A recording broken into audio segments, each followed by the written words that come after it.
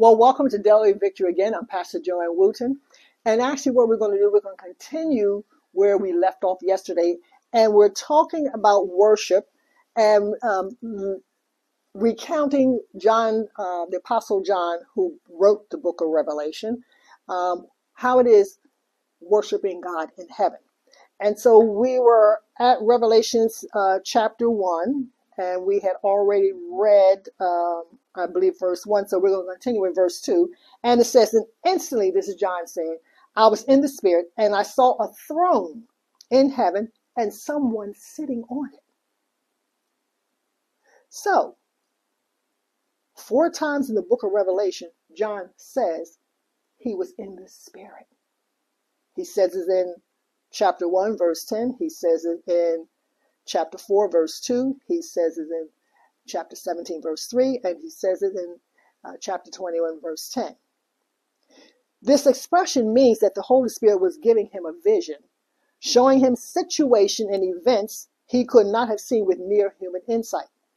All true prophecy comes from God through the Holy Spirit, as we see in 2 Peter chapter 1, verses 20 21. And we may have shared that, but we'll go over it again. And it says, above all, you must realize that no prophecy in Scripture ever came from the prophet's own understanding or from human initiative. No, those prophets were moved on, they were influenced by, they were breathed on by the Holy Spirit, and they spoke the word of God. So, these prophets were moved by the Holy Spirit, they spoke from God, means that scripture did not come from the creative work of the prophet's own invention or interpretation. God inspired the writers so that their message would be authentic and reliable. God used their talents, their education, and cultural background of each writer. They were not like robots. And God cooperated with the writers in such a way as to ensure that the message he intended was faithfully communicated in the very words they wrote. Now, verse 3 the one sitting on the throne, John says, was as brilliant as gemstones, like jasper and carnelian. And the glow of an emerald circled his throne, meaning God's throne, like a rainbow. Verse 4 says, 24 thrones surrounded him, and 24 elders sat on them. They were all clothed in white and had gold crowns on their heads. Who are these 24 elders? Because there were 12 tribes of Israel in the Old Testament and 12 apostles in the New Testament, the 24 elders in this vision probably represent all the redeemed of God for all time, both before and after Christ's death and resurrection. They symbolize all those, both Jews and Gentiles, who are now part of God's family. The 24 elders show us that all the redeemed of the Lord are worshiping Him, worshiping God. We're talking about worshiping God. Verse 5 From the throne came flashes of lightning and the rumble of thunder, and in front of the throne were seven torches with burning flames. What is this? This is the sevenfold Spirit of God. So, what is the sevenfold Spirit of God? It's another name for the Holy Spirit. We see also in Zechariah 4, uh, chapter 4, verses 2 to 6, where seven lamps, like seven torches, are equated with the one Spirit. And you know what? I'm just going to go right there, right quick.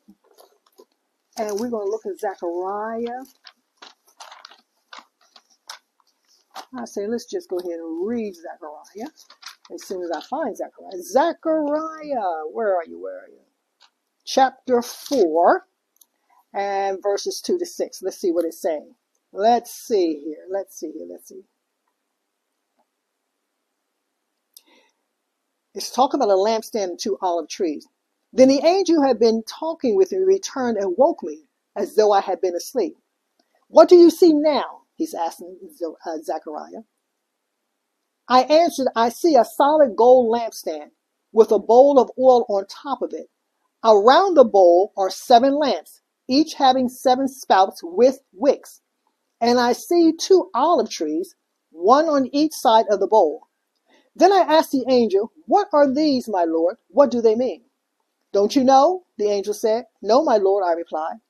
Then he said to me, This is what the Lord says to Zerubbabel. It is not by force nor by strength, but by my spirit, says the Lord of heaven's armies. Nothing, not even a mighty mountain, will stand in Zerubbabel's, Zerubbabel's way. It will become a level plain before him. And when Zerubbabel sets the final stone on the temple in place, the people will shout, May God bless it. May God bless it. So, on to verse 6. In front of the throne was a shiny sea of glass, sparkling like crystal. In the center and around the throne were four living beings, each covered with eyes, front and back. Verse 7. The first of these living beings was a lion.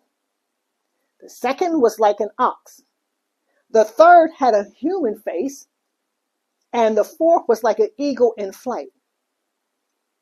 Hmm. What does that mean? Just as the Holy Spirit is seen symbolically in the seven lighted lamps, so the four living beings represent the attributes, meaning the qualities and character of God. These creatures were not real animals. Like the cherubim, which is the highest order of angels, of the angels, they guard God's throne. They lead others into worship and they proclaim God's holiness. Mm. God's attributes symbolized in the animal like appearance of these four creatures are majesty and power, that's the lion. Faithfulness is the ox. Intelligence, the human. And sovereignty, the eagle. I'm going to stop there. And once again, we're going to pick up on the next lesson. In the meantime, worship the King. Hallelujah. So, this is what I want you to do. Donate on our website, victoryexperience.com, or you can text donate to 302 324 5400. And then you can join us on the call after the broadcast in the United States, the number is 302 561 6767. If you're in Canada, the number is 709 500 6767. And then also, please share all of this on all your social media platforms. Listen, have a blessed day and worship the King.